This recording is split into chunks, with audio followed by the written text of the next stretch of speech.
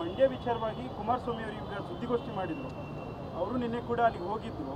ನಂದೇನಾದ್ರು ತಪ್ಪಿದ್ರೆ ನೇಣಿಗೆ ಹಾಕ್ಲಿ ಅಂತ ಎಲ್ಲ ಹೇಳಿದ್ದಾರೆ. ಯಾರು ಮಂಡ್ಯ ಘಟನೆಯಲ್ಲಿ ನಂದೇನಾದ್ರೂ ತಪ್ಪಿದ್ರೆ ನನಗೆ ನೇಣಿಗೆ ಹಾಕ್ಲಿ ಅಂತ ಹೇಳಿದ್ದಾರೆ.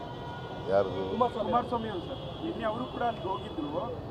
ಸ್ವಾಮಿ ಅವರೆಲ್ಲ ಹೋಗಿದ್ದಕ್ಕೆ ಗಲಾಟೆ ಜಾಸ್ತಿ ಆಗಿದೆ ಅಂತ ಆರೋಪ ಮಾಡಿದ್ರು. ಕುಮಾರಸ್ವಾಮಿ ಹೋಗಿದ್ದಕ್ಕೆ ಗಲಾಟೆ ಜಾಸ್ತಿ ಆಗಿದೆ ಅಂತ ಚಲುವರಾಯ ಆರೋಪ ಕುಮಾರಸ್ವಾಮಿ ಅವರೇ ಪ್ರಚೋದನೆ ಮಾಡಿ ಗಲಾಟೆ ಎಬ್ಸಿರೋದು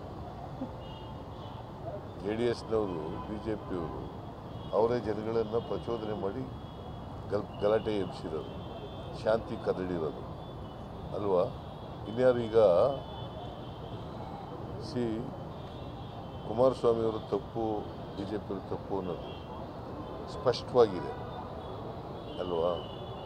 ಯಾಕೆಂತಂದರೆ ಅಲ್ಲಿ ಪಂಚಾಯತಿನಲ್ಲಿ ಪಂಚಾಯತಿಯವರು ಇವ್ರಿಗೆ ಪರ್ಮಿಷನ್ ಕೊಟ್ಟಿದ್ದಾರೆ ಯಾವ ಥರ ಯಾವ ಥರ ನಿಮಗೆ ಗೊತ್ತಾ?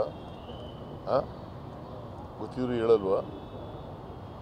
ಏನಂತ ಕೊಟ್ಟಿರೋದು ಅಂದರೆ, ರಾಷ್ಟ್ರ ಧ್ವಜಸ್ತಂಭದ ಮೇಲೆ ರಾಷ್ಟ್ರ ಧ್ವಜ ಆರಿಸಿ ಅಥವಾ ಕನ್ನಡ ಧ್ವಜ ಆರಿಸಿ ಅಂತ ಕೊಟ್ಟಿರೋದು. ಅದಕ್ಕೆ ಮುಚ್ಚುಳಿಕೆಯನ್ನು ಬರ್ಕೊಟ್ಟಿದ್ದಾರೆ.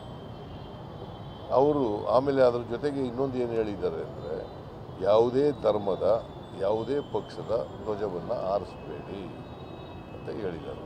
ಇವರು ಯಾವ ಧ್ವಜ ಆರಿಸಿದರು ರಾಷ್ಟ್ರಧ್ವಜನ ಕನ್ನಡ ಧ್ವಜನ? ಮತ್ತು ಯಾವ ಧ್ವಜ ಹಾರಿಸಿದ್ರು ಮತ್ತೆ? ಭಾಗವ ಧ್ವಜ. ಅದು ಮತ್ತೆ ಅದರಿಂದ ಅಶಾಂತಿ ನಿರ್ಮಾಣ ಆಗುತ್ತಲ್ವಾ? ಹಾಂ?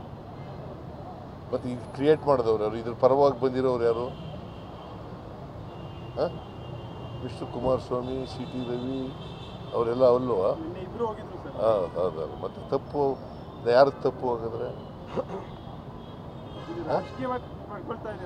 ಯಾರ್ದ್ರಿ ತಪ್ಪು?